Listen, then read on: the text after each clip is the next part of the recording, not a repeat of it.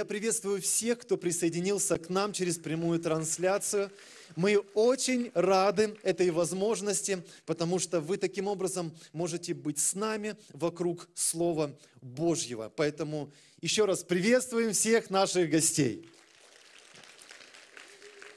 Я хочу прочитать вам в это воскресное утро то, что говорил Иисус Христос своим ученикам, а значит и нам с вами о последнем времени – и я думаю, что мы все ближе и ближе приближаемся к этому последнему времени, и так много разных переживаний, так много стрессов в последнее время, так много страхов разных, которые наполняют наше общество и пытаются атаковать нас. И вы знаете, что э, вот эта эпидемия, коронавирус, она уже охватывает не только Китай, она охватывает, выходит за пределы Китая, касается многих других стран. На сегодняшний день уже 120 тысяч, уже около 120 тысяч заболевших есть это, этим вирусом. Сегодня это даже называется уже не эпидемия, это называется пандемия пандемия или пандемия, то есть новое слово, которое говорит о том, что э, заболевание распространяется за пределы какой-то определенной страны. Заболевание, которое и охватывает все другие и другие территории дальше. Это то, что сегодня происходит. И мы знаем, что многие страны закрылись для сообщения с внешним миром.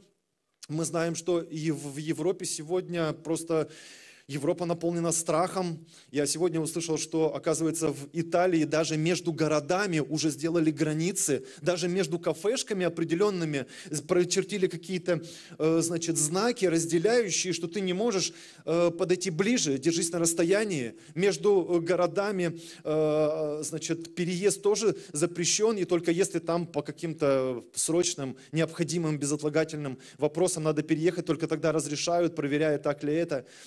Э, и мы видим, что что-то необыкновенное происходит. Кто бы мог подумать, что с Европой может такое случиться? Европа, мы все смотрели, о, это, ну, как бы образец определенный в устройстве, в экономике. Это что-то такое более фундаментальное. Это мы тут, в общем-то, страны какого-то мира, да, на каком-то месте, а там мы смотрели, там больше, значит, есть каких-то перспектив и защиты. Но вот мы в настоящее время живем.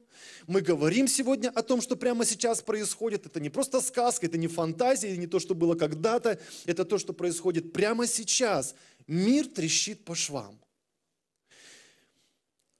Если я не ошибаюсь, то сегодня наше правительство российское – будет э, совещаться и планировать, и они должны будут прийти к каким-то решениям, как обезопасить нашу страну. И вы знаете, что в нашей стране уже тоже э, есть заболевания, и люди, которые ездили за границу в Европу, они приехали, и выяснилось, что они тоже заболели. И в Кемерово даже два человека, насколько я слышу, уже тоже есть с этим заболеванием. И наше правительство сегодня будет совещаться о том, как обезопасить нашу страну. И мы не знаем, э, как это отразится на нас. Возможно, это отразится на нас так же, как и во многих других странах, где запрещают собираться, допустим, в Америке, э, как я слышу, не больше 200 человек могут собираться вместе и не больше. Поэтому многие собрания, церкви, они закрываются, они вынуждены закрыться, они не могут собраться вместе.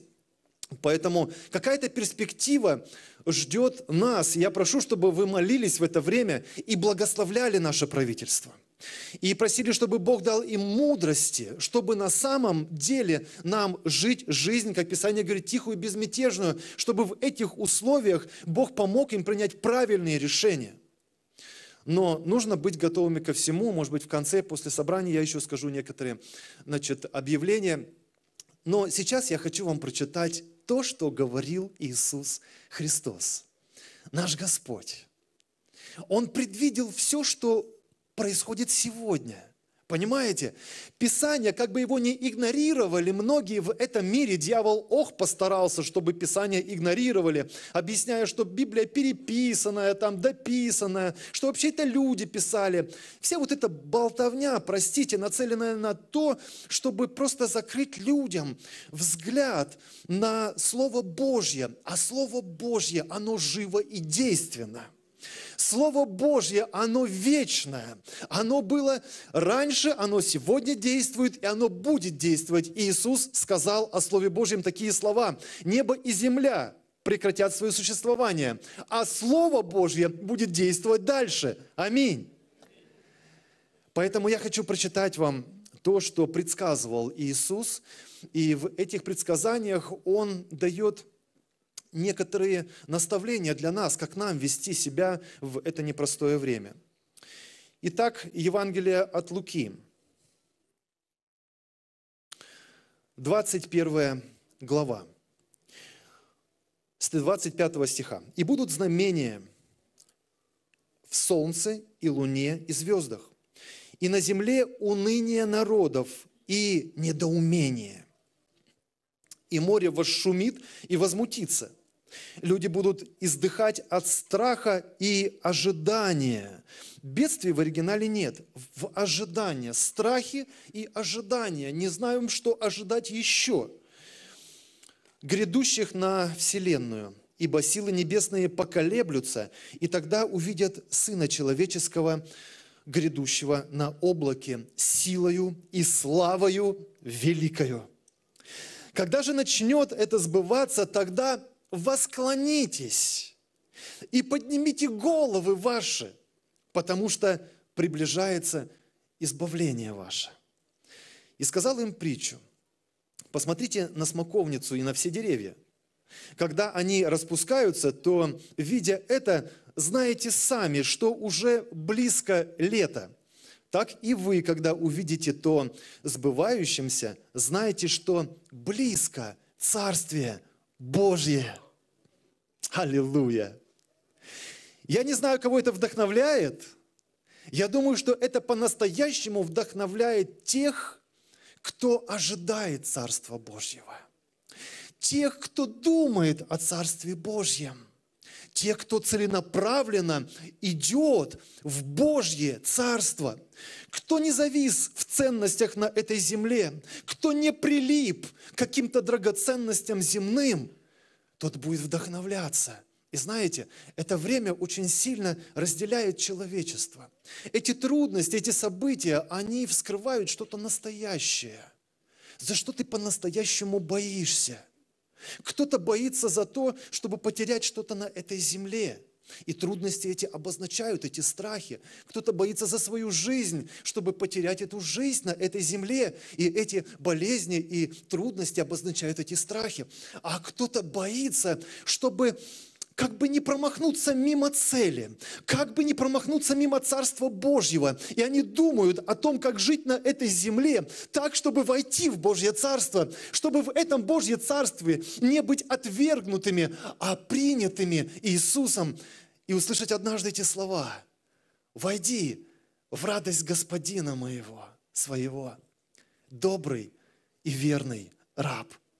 И вот для таких людей, для этой последней категории, я думаю, никакие страхи на этой земле, они не имеют над ними власти. Потому что они избрали что-то большее, чем то, что могут потерять на этой земле. Аминь. Это правда. И поэтому Иисус наставляет нас, как нам надо относиться к тому, что будет происходить в это последнее время – интересную реакцию он предлагает нам. Он говорит, что это разделение произойдет. Разделение, как тут он говорит, люди. Одна категория – это люди. Это просто люди, которые родились на этой земле, и они живут по принципам и заповедям этой земли. А другая категория людей – это церковь это другие люди, они тоже родились на этой земле, это мы с вами. Но это люди, которые поверили Иисусу Христу, которые доверили Ему свою жизнь которые поверили, что Бог приготовил для них не просто Эдемский сад. Да, здесь на земле прикольно, неплохо. Здесь на земле есть достаточно много радостей, но есть одно но. Однажды все это закончится. Однажды все, что на этой земле сгорит, так Писание говорит, потому что все пропитано грехами. Но Бог приготовил для нас вечность. И не в озере огненном, которого мы все заслужили, по правде говоря, за свои грехи. А Он приготовил нам вечность в Своем Божьем Царстве. Он все для этого сделал. Он пролил свою кровь за наши грехи. Он предложил нам оправдаться не своими делами, а Его святой кровью. И те, которые приняли это прощение, которые приняли это оправдание верою, которые доверили свою жизнь Иисусу Христу, они вот в этой особенной категории, по отношению к которой Иисус здесь говорит. И вот реакция, которую Иисус предлагает – он говорит, как одни будут в ожидании, так и другие будут в ожидании.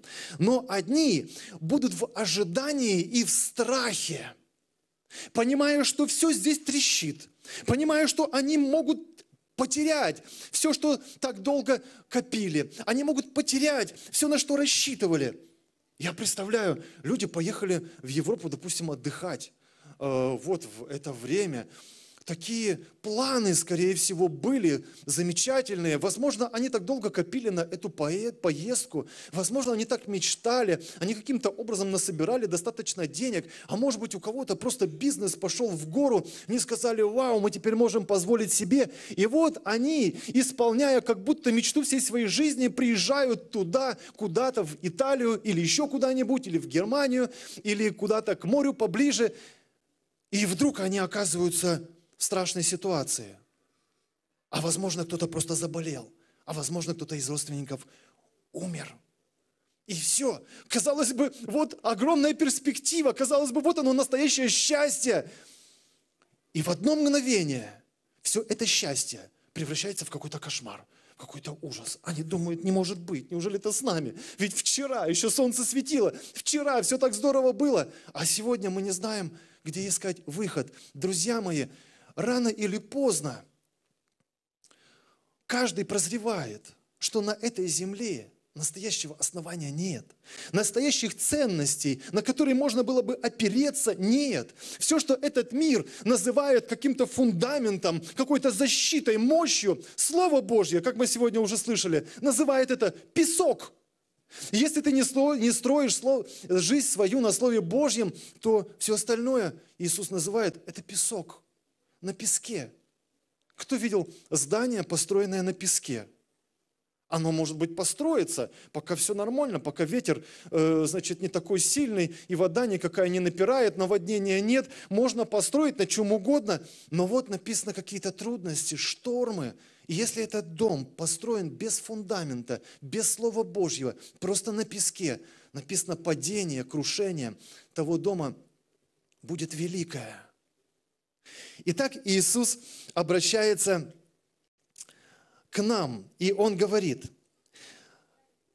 когда же начнет это все сбываться? Когда вы увидите страхи, общество в ужасах, не знают, чего еще ожидать, когда вы все это увидите, когда все это будет сбываться, восклонитесь и поднимите головы ваши. Вы знаете, есть такой образ согбенного человека, который идет по жизни тяжело, трудно, верить надо. Тут смеются, тут издеваются. Одноклассники, он бизнес какой развернули, понимают, что там неправда, нечестно, но все так живут, а как по-другому? Но нет, мы с Богом, мы сможем. Господи, я останусь Тебе верным, я не буду соединяться с теми, кто грешит. Господь, я иду за Тобой. И такой, вроде с Богом, но бывает так трудно в этом мире остаться верным Богу. Почему? Потому что все окружение говорит другое. Они говорят, живи здесь. Ты о чем вообще? Кто знает, что там будет? Ты о чем? Ты говоришь, ну Бог внутри меня, я знаю это точно. Они смеются, говорят, ты что, какой Бог? И у меня мой Бог внутри себя. И у меня внутри мой Бог. Чем отличается от твоего? Ты говоришь, да ты не понимаешь. Я имею настоящую жизнь. Она не зависит от богатства, от того, здоров ли ты болен. Она больше всего найдет тебе вечность. И они смеются.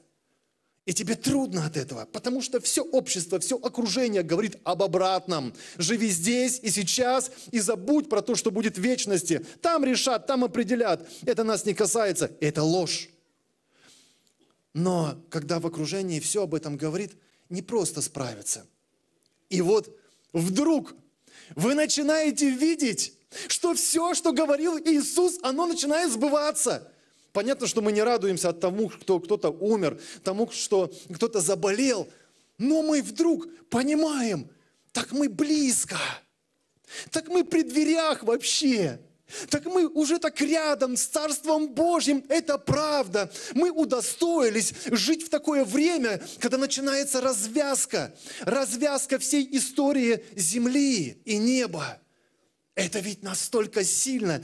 Поэтому Иисус говорит, когда вы увидите это, ободритесь, распрямите плечи свои, восклонитесь, поднимите голову, не, не опускайте. Вы теперь не в позоре, вы теперь не в стыде.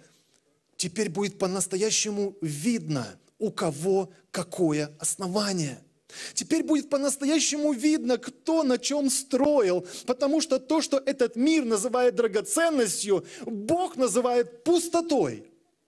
Но то, что люди говорят, да пустота какая-то, Бог там, Иисус, вечность, пустота, здесь надо жить. То, что люди называют пустотой, оказывается, это самая большая реальность. Оказывается, Бог, которого они не видят, это самая большая реальность. Оказывается, ценности, которые написаны в Библии, над которыми здесь все издеваются и смеются, так же, как над Христом издевались, смеялись и распили на кресте. А оказывается, это самая великая истина, которая будет жить не только здесь на земле, но как, даже когда все здесь закончится, по этим же правилам мы будем жить в вечности. Поэтому Иисус говорит – когда вы увидите все это сбывающимся, ободритесь. Теперь это ясно. Теперь вы будете в авторитете, в общем. Теперь многие люди, они посмотрят на ваши слова по-другому, на ваш образ жизни посмотрят по-другому. Писание говорит, что в последние дни люди будут искать эту надежду, искать какой-то фундамент больше. Они привыкли так жить, они не понимают, как по-другому. Они и нас еще не понимают, но они чувствуют, что в этом человеке что-то есть большее. Почему все боятся, все в страхе, а он восклонился и поднял голову, и ходит прямо, и радуется, и счастливый. Почему? Что-то у него есть. Он не играет, он настоящий. Почему же такая разница? Люди будут видеть это. Им захочется это иметь, и это, и это очень мудро, если они захотят это иметь. Мне вспоминается э, то, та история, которую о которой написано про апостола Павла. Послушайте, это в книге «Деяний», в 27 э, главе это описывается. Апостол Павел, небезызвестный нам апостол Павел. Подождите немножко.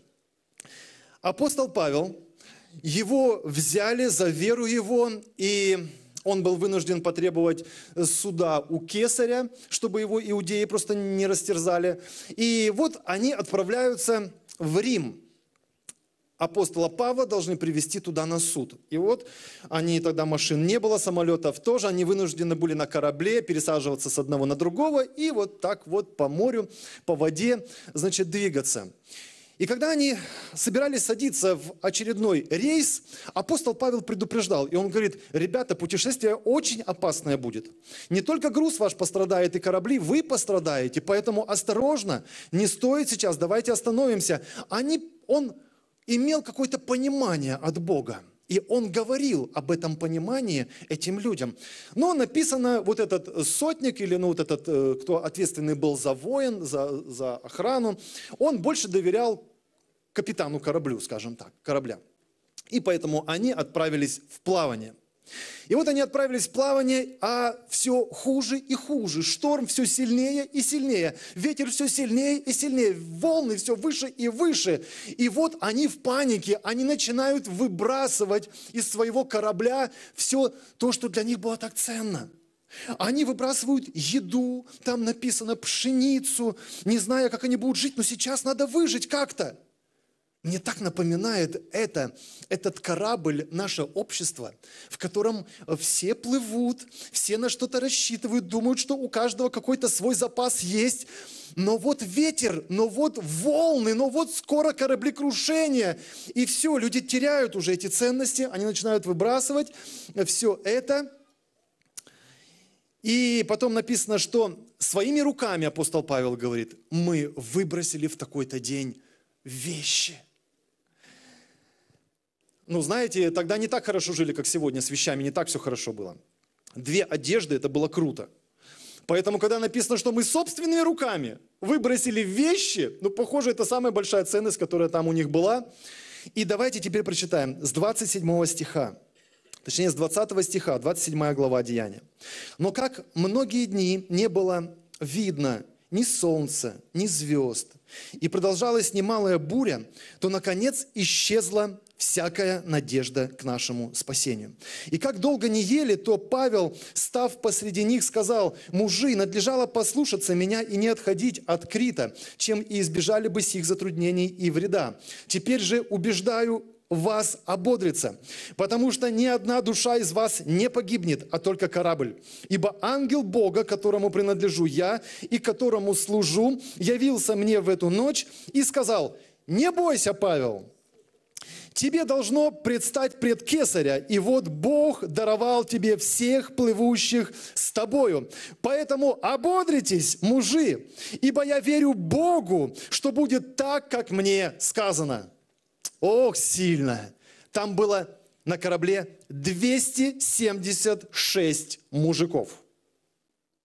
276 душ из которых часть была заключенных, которых, подобно Павлу, вели на суд, часть которых была обслуживающий персонал, моряки, крепкие, сильные, и часть это была воины – которые остерегали все это, держали под контролем всех остальных. Это были сильные, накачанные мужчины, которые были ответственны за все происходящее. Смелые – это римские воины. Они с детства обучались, как надо воевать, как надо быть смелыми, как надо противостоять трудностям.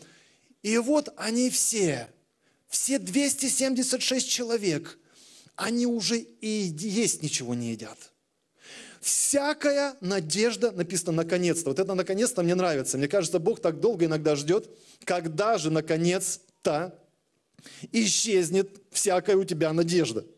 Но не для того, чтобы загнобить тебя, а для того, чтобы принести тебе новую надежду. Иногда Богу надо подождать, когда надежда человеческая по-настоящему наконец-то закончится. Если посмотреть в оригинале, как это было, то мне предстает такая картина. Вот все плохо, плохо. Ну, сначала они думают, сейчас это выбросим, полегче станет. Доплывем как-нибудь. Потом не помогает. Они другой начинают выбрасывать. Потом последний начинают выбрасывать. А шторм усиливается, а проблем еще больше, а болезни еще сильнее. И все. И написано, у них руки опустились полностью они не видят никакой надежды. И то, что я здесь вижу, это апостола Павла, который, похоже, так сидел со стороны, ну когда же уже наконец-то они успокоятся? Ну как они не понимают, что за всем этим Бог, который их любит? Ну сколько они будут еще вот пытаться справиться своими силами? И вдруг, когда последняя надежда заканчивается, здесь написано, Павел, э, вот здесь написано, Э, мужи, а в оригинале восклицание такое, знаете, на греческом языке. О, люди!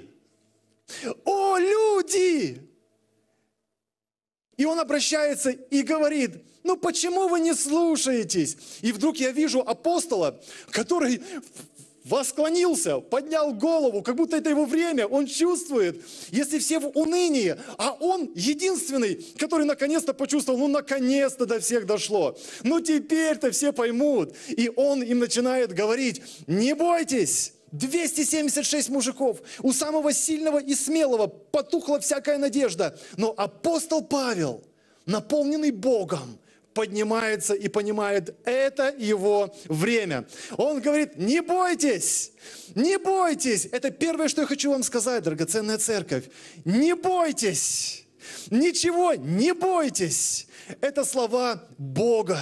Однажды, этот же апостол Павел, я вот не успел свести, это было до вот этого путешествия на корабле или после, но однажды он пишет своему ученику Тимофею, и он говорит, что Бог дал нам не духа боязни, а духа силы, любви и ясного разума. Силы, любви и ясный разум – это Дух Божий так охарактеризовал апостол Павел, когда писал письмо Тимофею, Дух Божий. И он говорит, не бойся, ты имеешь этот Дух, Он поведет тебя. Не бойся, ничего не страшись. Дух Божий направит тебя. И у меня вопрос, как, как в такое время не бояться? Кто-то сразу понимает. А апостол также говорит Тимофею, возгревай свой дар, возгревай свой дар. Первое, что я хочу сказать, чтобы остаться без страха, чтобы смотреть на, всю, на все происходящее, на всю эту реальность Божьими глазами, самое первое, церковь, молитесь. Самое первое, молитесь. Вы не можете увидеть реальность Божью просто человеческим умом, даже если вы прочитали не один раз Библию. Потому что то, что сегодня происходит, этого никогда не происходило. Да, есть наставление Иисуса. Он говорит, восклонитесь, поднимите голову, не бойтесь. Но как? Как мне видеть? Ведь там человек умирает, там человек умирает, там болезни, там трудности, все в ожидании, все в страхах. Как не бояться? Молитесь. Я знаю, что это простое слово вы слышали тысячи-тысячи раз. И, возможно, вы ставили себе галочку, что сегодня я помолился, сегодня я вечером помолился, сегодня я утром помолился. Но речь не об этом. Речь о том, что соединяющийся с Богом есть один дух с Богом. И вот когда ты в молитве молишься, твоя цель соединиться с Богом. Твоя цель исполниться Его духом. И тогда ты будешь понимать, то, что Он видит. Тогда ты будешь чувствовать то, что Он чувствует. Тогда ты будешь иметь разум, который есть у Бога в этой ситуации. Поэтому, драгоценные, молитесь, чтобы соединяться с Господом. Молитесь, чтобы понимать, куда Дух Божий направляет вас в это время. Второе. Нам необходимо Слово Божье – нам необходимо Слово Божье. И, возможно, вы это слышали, и, скорее всего, точно так же, как о молитве не меньше, тысячи-тысячи раз. Друзья мои, но у нас нет другого основания. Возможно, вы себе ставили галочку, что мы почитали Библию вечером на ночь или утром рано, мы почитали Библию, понял, не понял, ну, Господь как-нибудь мне потом откроет. Нет, читайте Слово Божье, чтобы получить оттуда пищу. Читайте так, чтобы откровение Божье, оно накрыло просто вас. Читайте Слово Божье, чтобы разговаривать с Богом, чтобы слышать Его ответ. Вы знаете, э, я прочитал на этой неделе э, один удивительный пример о Джоне Лейке. Джон Лейк, э, его еще называли человек исцеления. Он а в конце 19 века родился, и в начале 20 века вот это была активная его деятельность. Он насаждал церкви, он проповедовал об Иисусе Христе, и он исцелял больных очень сильно, очень мощно. Там десятки и сотни тысяч э, исцелений было зафиксировано через его служение. И вот то, что он сказал. Он многие годы служил в Африке. И знаете, в Африке в то время тоже очень многие страшные болезни распространялись. Пандемия, наверное, не знали, что такое, но эпидемия была сильная. Поэтому там тоже не знали, как бороться с этими болезнями. И он говорит, что за тысячи долларов никто не соглашался хоронить вот этих умерших, которые умирали от чумы. Чума, как-то она называлась там, бубонная чума, значит, распространялась тогда. Но он говорит, мы вместе со, с моим напарником, сотрудником, мы хоронили по несколько человек, значит, в одну могилу и никогда не заразились. И потом с корабля, который, который привез государственную помощь в Африку, пришли медики, и они смотрят и говорят, как вы столько времени здесь живете, работаете и не заразились? Какие у вас средства безопасности есть? И Джон Лейк отвечает, и он говорит, мое средство безопасности – заключается в том, что закон Духа жизни освободил меня от закона плоти и смерти. То, что написано в послании к римлянам в 8 главе во 2 стихе. Закон Духа жизни освободил нас от закона греха и смерти. Аминь. И они спрашивают у него – как это возможно вообще? Как, как это может быть? О, ведь вы постоянно соприкасаетесь с этой заразой, от которой все умирают. А он говорит, послушайте, вот возьмите слюну, пену эту от, от умершего человека, от этой э, бубонной чумы, и поместите мне ее на руку. Но сначала посмотрите под микроскопом, и вы увидите, что э, микробы эти живут еще долгое время после того, когда человек умирает. Э, эта чума живет. А потом возьмите, говорит, это и поместите мне на руку. И дальше смотрите под микроскопом, и вы увидите, вы увидите, как эти микробы тут же начинают умирать. И они начали делать этот эксперимент и были в шоке. Они смотрели на него и говорят, как это вообще возможно? Как это можно? И он говорит, потому что этот закон работает. Потому что тот, кто принадлежит Иисусу Христу, потому что тот, кто имеет Святой Дух, он больше, чем все остальные законы. Тот, кто слушается Святого Духа, он больше, чем законы даже этого мира. Поэтому он говорит, я принадлежу Иисусу Христу, и он ни разу не заболел. И он совершал там эту великую работу. Друзья мои, я хочу прочитать вам Слово Божье – когда я говорю «стойте на Слове Божьем», это значит возьмите это Слово в свое сердце. И мне хочется в это утро прочитать вам особенный 22-й псалом. Вы его наверняка знаете, многие знают его наизусть. Господь, пастырь мой, я ни в чем не буду нуждаться – он покоит меня на злачных пажитях и водит меня к водам тихим. Подкрепляет душу мою, направляет меня на стези правды ради имени своего. Если я пойду и долиною смертной тени, не убоюсь зла, потому что твой жезл и твой посох, они успокаивают меня. Ты приготовил предо мною трапезу в врагов моих умастил елеем голову мою, чаша моя преисполнена. Так благость и милость Твоя да сопровождают меня во все дни жизни моей, и я прибуду в доме Господнем многие вечные дни. И еще один псалом, чуть побольше, там 15 стихов, не 6, 90-й псалом, открывайте. 90-й псалом – Люди берут это, говорят, живые помощи, живые помощи, надо там три раза в день прочитать, надо возле сердца хранить, надо в кармашке носить. Если потеряешь, все, закончатся твои живые помощи. Но Давид говорит, я Слово Твое в сердце своем сокрыл. Я размышляю о Слове Твоем. Я хожу с этим Словом Твоим. Я живу Словом Твоим, поэтому Ты сделал меня мудрее всех учителей моих. Живущий под кровом Всевышнего – под сенью всемогущего покоится. Говорит Господу, прибежище мое и защита моя, Бог мой, на которого я уповаю.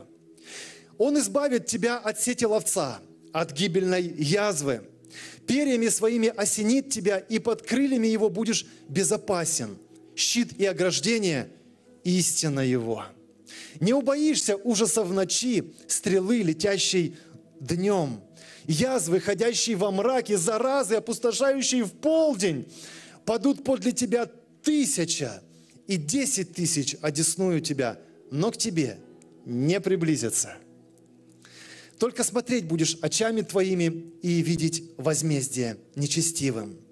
Ибо ты сказал, Господь, упование мое, Всевышнего избрал ты прибежищем твоим.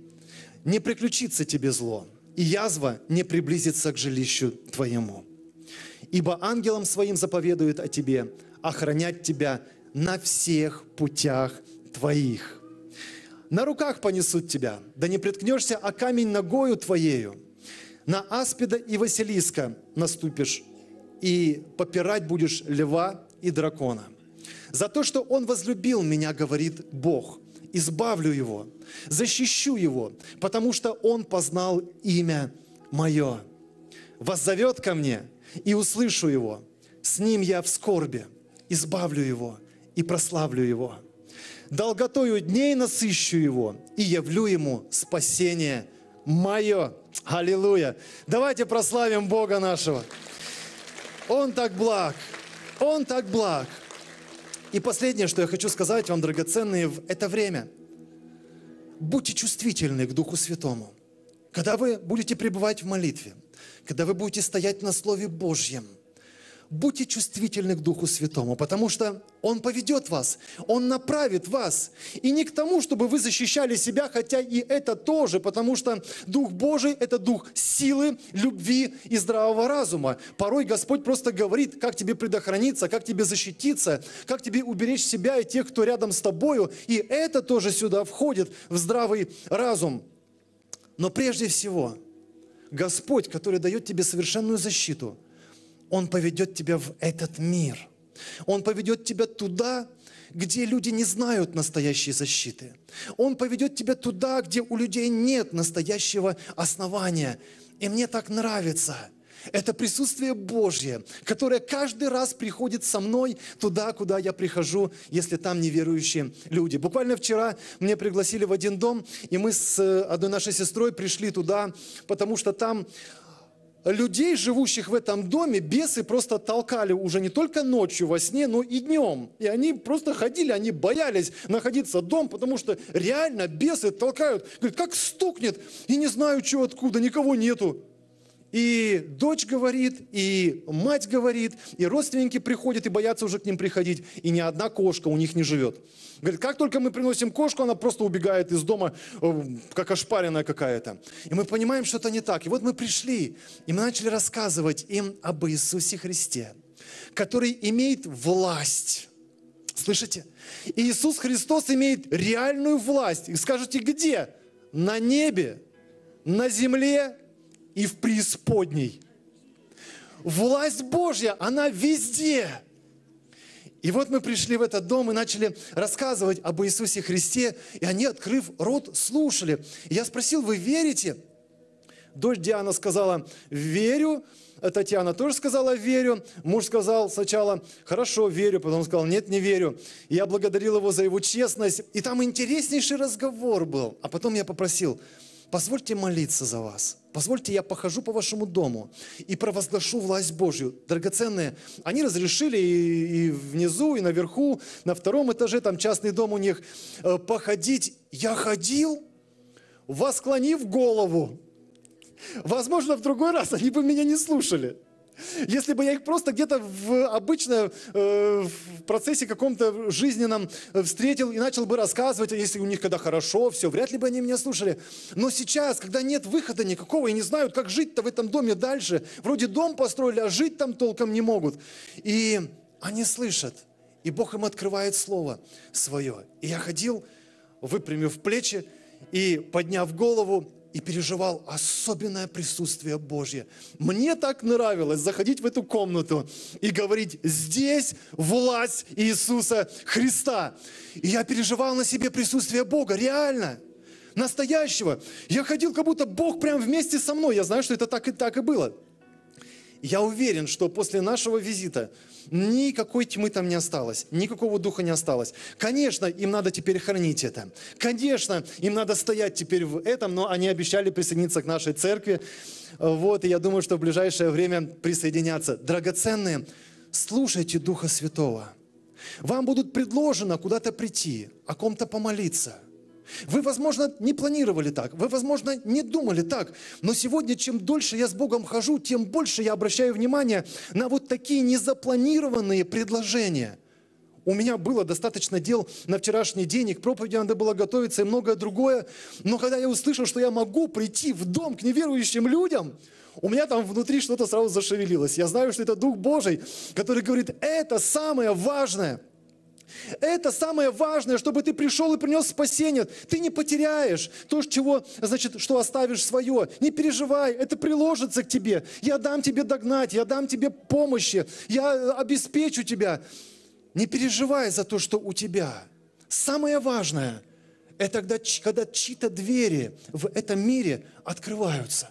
Они были закрыты, им было так трудно, у них было какое-то свое понимание. Но вот Бог сегодня дает им благодати. И их сердце открывается, они говорят, ну помолитесь за меня. Драгоценные, не пропустите это время. Бог наградит вас, Он покроет ваши нужды, Он благословит вас. Не думайте о том, что я не знаю, что сказать и как это все будет. Бог даст вам слова, Бог даст вам силу. Переживите на себе эту благодать, когда вы приходите в какой-то дом или встречаетесь с каким-то человеком, который еще не знал Бога. Аминь. И Бог благословит нас в это время. И церковь будет умножаться. И там на небесах будет великая радость о многих-многих кающихся грешниках. Воздайте Господу славу за это время. Не бойтесь, стойте в слове, молитесь и чувствуйте Дух Святой – который будет особенно руководить церковью в это время. Давайте встанем, дорогие. Thank you